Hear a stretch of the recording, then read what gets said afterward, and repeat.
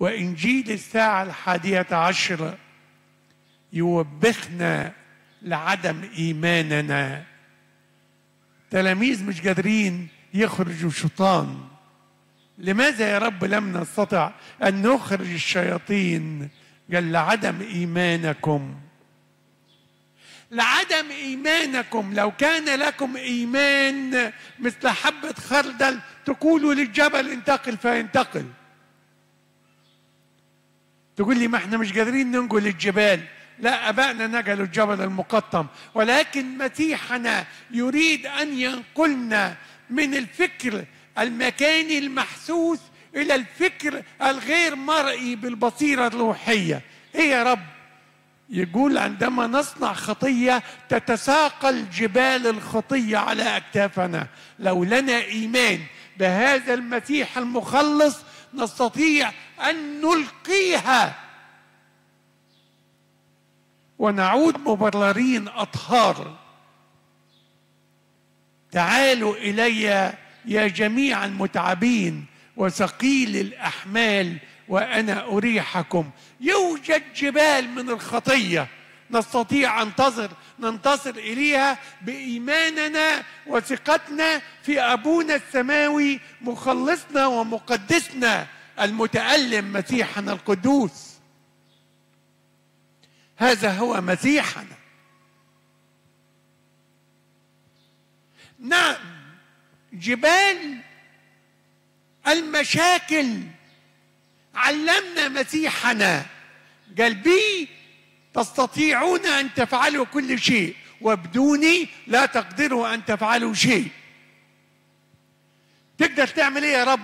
أستطيع كل شيء في المسيح يسوع الذي يقويني والغير مستطاع عند الناس مستطاع لدى الله. يعني يعني رب جبال المشاكل أقدر أغلبها؟ أيوه.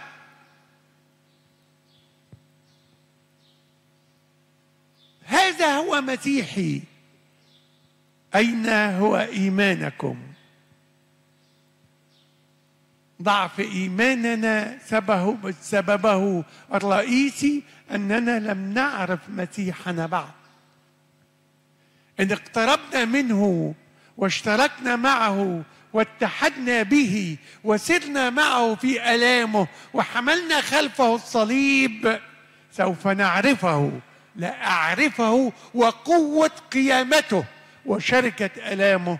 متشبها بموته. هذا هو ابويا السماوي. هذا هو إلهنا القدوس الذي طهر أورشليم. هذا هو مسيحنا الذي قال بيتي بيت الصلاة يدعى. ينفع ندخل بيت. ما نتعرفش على صاحب البيت. ينفع؟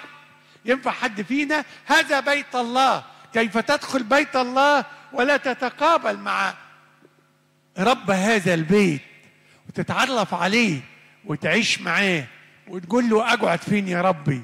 في الحتة اللي أنت عايزني فيها أنا يا ربي هقعد فيها. شكرا ليك يا رب إنك اديتنا بيت عشان نقعد فيه. شكرا ليك يا رب إنك أنت جبلت تسكن جوه قلوبنا فأنتم هيكل الله وروح الله ساكن فيكم.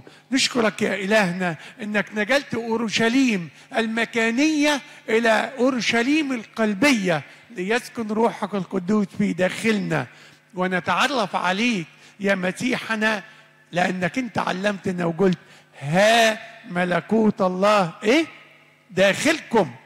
جوايا. إن كان الملكوت داخلي فابويا السماوي يسكن داخلي بروحه القدوس.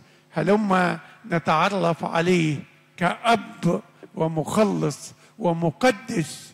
أب نتحد به فأعطانا هو جسده ودمه لكي نتحد به. لنسير خلفه حاملين عاره شايلين الصليب خلف مسيحنا.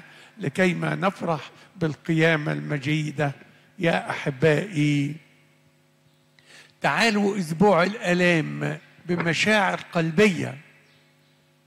أبونا قداسة البابا ومثلث الرحمات ربنا ينيح نفسه ويدي العمر الطويل لأبونا قداسة البابا تودروس الثاني يقول من لا تهتز مشاعره؟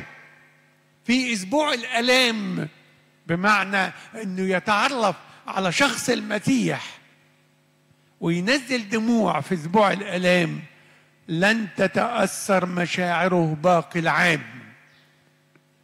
لو إحنا ما تعرفناش عليه في أسبوع الألام عن قرب واتحدنا بيه اتحاد حقيقي. وأتذوق حلاوة مسيحنا بكل ما فيها من قوة القيامة ومن شركة الألام وشركة موته وقيامته من بين الأموات.